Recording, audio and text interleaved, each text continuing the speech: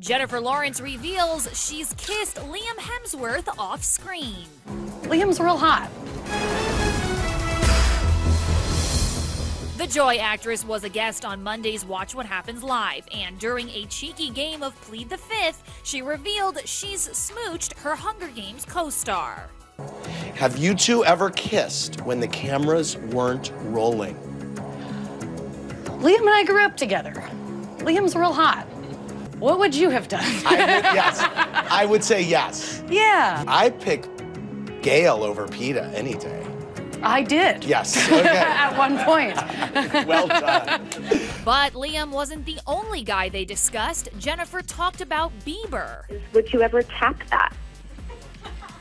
Uh, I'm going to say a hard no. A hard no. and her ex, Coldplay frontman Chris Martin. You and Chris Martin never really confirmed whether you were together or not. We never did. And were you?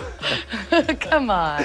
The 25 year old had no issue opening up about taboo topics. She admitted to smoking a bit of weed before the Oscars one year, and also this. Did you ever hear from Madonna after you threw up on the porch at her Oscar party? No. No.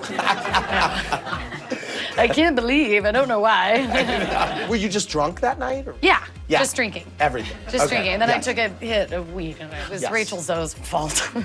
Oh my God. That Sorry, Raj, Rachel. That, that Raj always has good pot. I think exactly. He does, Yeah. he does. That's why I love and I've- seeing and Raj I've at a only party. learned as I got older that even though it's being passed around, you don't have to partake every time.